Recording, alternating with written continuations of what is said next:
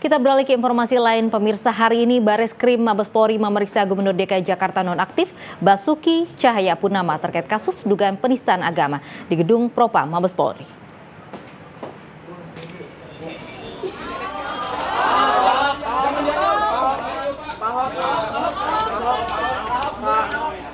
Ahok tiba di gedung Propa Mabespori sekitar pukul 8 lebih 15 menit.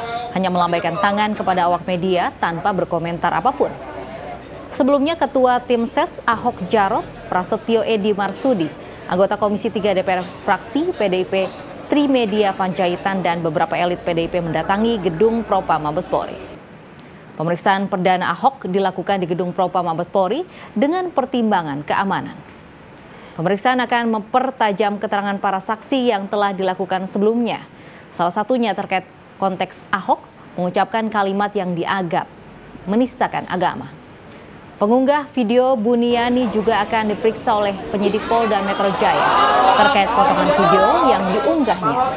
Baris Krim juga akan memeriksa tiga saksi lain, yakni pihak dari Kementerian Agama, Imam Basai Masjid Istiqlal, dan Ketua MUI Ma'aruf.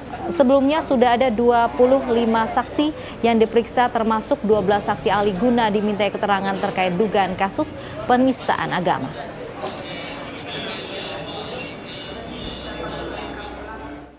poin yang memang kita harus tajamkan, harus kita dalami ya. Apa sih sebenarnya konteksnya dia melakukan perbuatan atau ucapan seperti itu?